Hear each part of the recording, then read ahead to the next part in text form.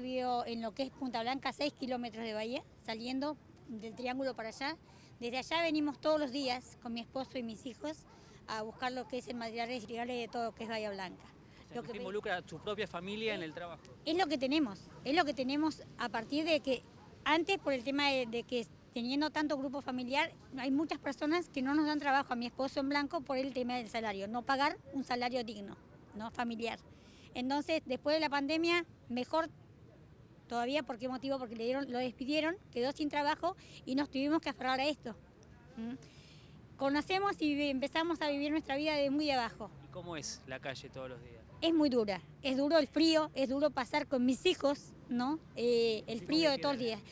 Y los que vienen con nosotros, tengo a Nehemías que tiene 11 eh, años, Ayán tiene 8 años, Ángel tiene 7 y Morena que empezó conmigo, empezamos eh, hace más o menos un año con esto, tiene 13 años.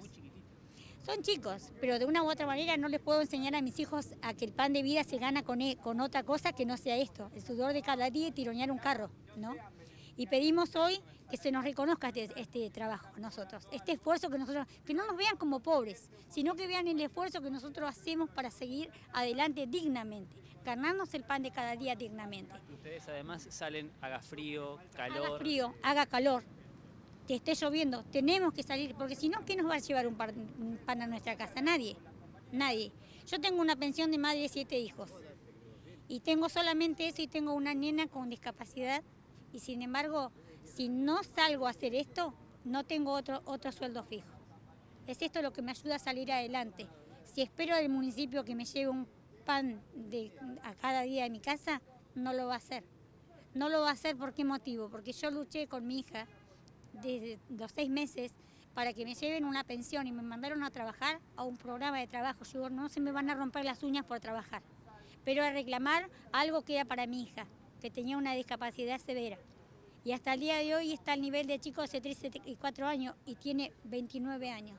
Y el municipio no me quiso dar esa ayuda. Pero me imagino que usted para sus hijos y sus hijas quisiera otra cosa. Otra clase de vida, ¿me entendés?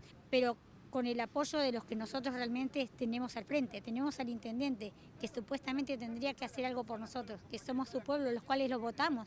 Nosotros votamos para que él esté ahí. Pero él hace algo por nosotros, hoy nos da un lugar de acopio para que nosotros tengamos nuestra casa como un tarro de basura, como muchos dicen que nosotros tendremos nuestros hogares como un tarro de basura por reciclar y llevar esas cosas a nuestros hogares. Si tuviésemos hoy un lugar de acopio, no llevamos material reciclable a nuestros hogares. Eso es lo que pedimos, que se reconozca nuestro trabajo, nuestro, nuestras fuerzas para seguir adelante, ganarnos el pan de cada día con el sudor de nuestra frente, pero dignamente. Pedimos un lugar de acopio donde podamos hacer. Gracias.